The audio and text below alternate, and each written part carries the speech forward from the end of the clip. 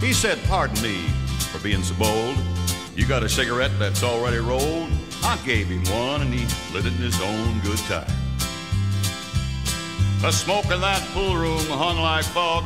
When he talked, he sounded like a growling dog. He said, Do you care for a dollar on the five the nine? Now the man was ugly and his eyes were mean.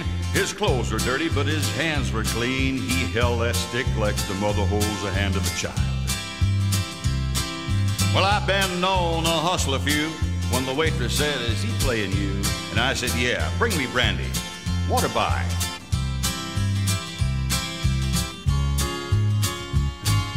A little Red Parker, he was way in the back, taking quarters and handling racks. And I told him, Red, come up here.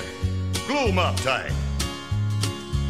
That brandy had me feeling warm, so I tipped that waitress and checked her form, and I said, honey, you like a winner? And she just smiled. I played like a man with a broken wrist.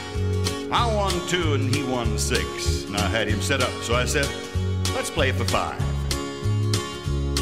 By this time, a crowd had gathered round just to see this fish and watch him drown. I told that waitress, more brandy, water by. Well, he went out and got a custom cue, and he said, No offense to you, I don't play off the wall with nobody but friends. It had gold initials and a leather grip, pearl and silver inlaid tip. He smiled at me and said, Why don't we play for ten? Well, I've never seen a man that walked who made those balls and table talk. They're speaking English. He sure didn't need my help. Broke the balls and kept that string for 187 bucks in the ring. Till I gave up and said, friend, you're gonna have to play by yourself.